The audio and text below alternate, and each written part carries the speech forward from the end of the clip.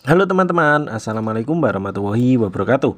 Selamat datang di channel youtube saya yaitu Kangri ID Oke, pada kesempatan kali ini saya akan membahas seputaran Windows 11 Nah, di sini akan saya bahas yaitu cara menyalakan atau turn on Windows Defender Firewall Ataupun cara mematikannya teman-teman atau turn off. Nah, di sini caranya gimana? Simak video ini sampai selesai.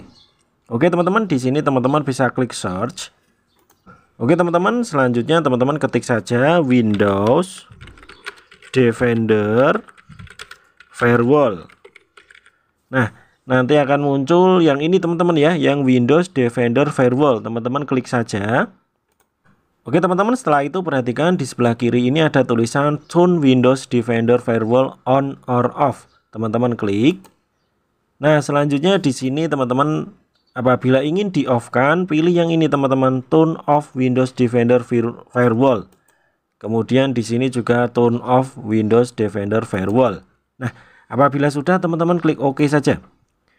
Nah, di sini sudah dimatikan teman-teman ya atau di turn off.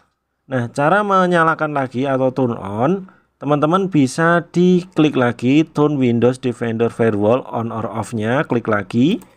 Kemudian dipilih turn on teman-teman. Yang sini juga dipilih turn on. Apabila sudah klik OK saja. Nah, di sini sudah on lagi. Oke, mungkin sekian dulu cara turn off ataupun turn on Windows Defender Firewall di laptop Windows 11. Terima kasih. Wassalamualaikum.